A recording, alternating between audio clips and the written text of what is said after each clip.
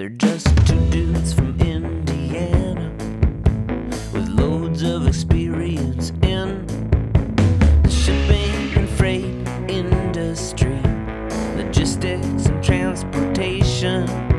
Just two tech nerds who saw that they were inefficiencies, laying the groundwork for autonomous.